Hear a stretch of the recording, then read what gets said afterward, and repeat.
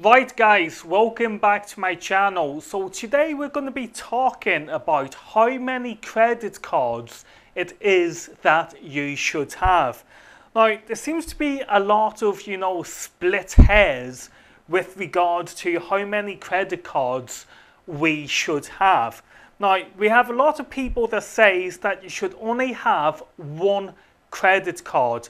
But if you need more credit cards, then you should not go above three credit cards because then it's going to really affect your credit rating or your credit report. Now, the thing is, I can honestly say that this is not true, okay? Because as a matter of fact, I myself, I have seven credit cards and I have to say I manage those credit cards just fine. Not only that, I've also looked at my credit report, which I look at very regularly. You know, just like you sign into your Facebook account, that's how regularly I sign into my credit report account. And I can honestly say that having more than three credit cards does not affect your credit report or your credit rating in any way, shape, or form.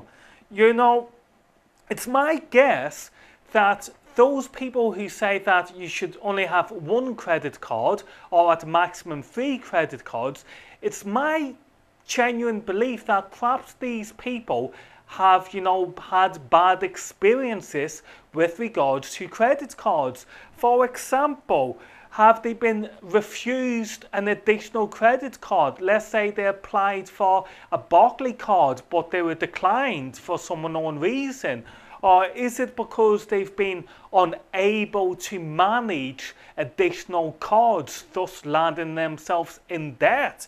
You know, or is it just that they've been point blank refused credit cards in the past? You know, whatever way it goes, it doesn't change the reality that I myself, you know, have no detrimental uh, negatives on my credit report with regard to having more than three credit cards. So what's my conclusion to this question of should you how, no, what is my overall conclusion with regards to the question of how many credit cards should you have? This is my thoughts. My thoughts are you should have as many credit cards as it is that you think you can manage. Or let me put this another way. You should have as many credit cards as you can get off the credit card companies. Again, that is if you believe you can manage these credit cards.